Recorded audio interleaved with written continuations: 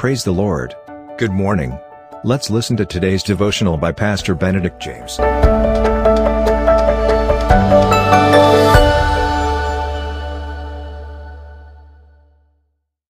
I greet you once again in the most wonderful name of Lord and Savior Jesus Christ. Let's read from the book of Daniel, chapter 5, fifth verse.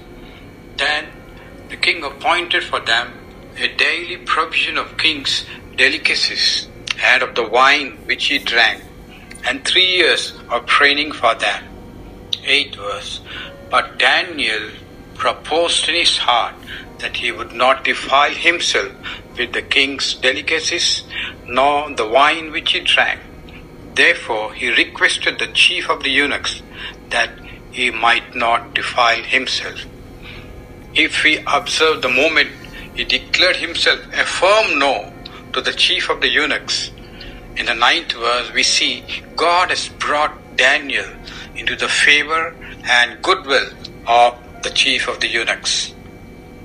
There is tremendous power in this word no when it is spoken resolutely and courageously without falling into sweet momentary pleasures and temptations.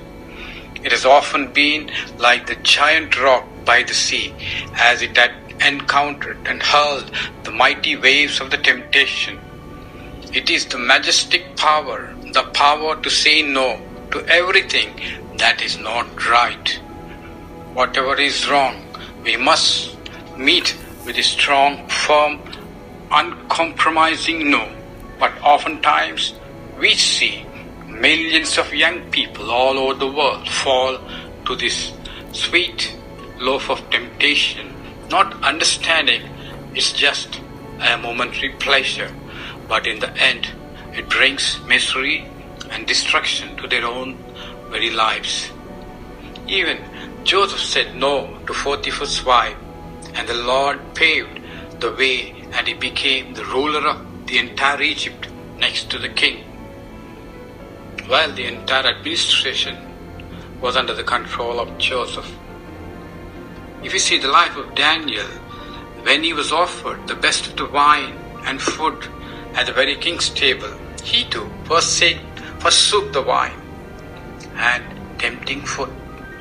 I repeat, Daniel, when he was offered the best of the wine and the food at the very king's table, he too forsook wine and tempting food.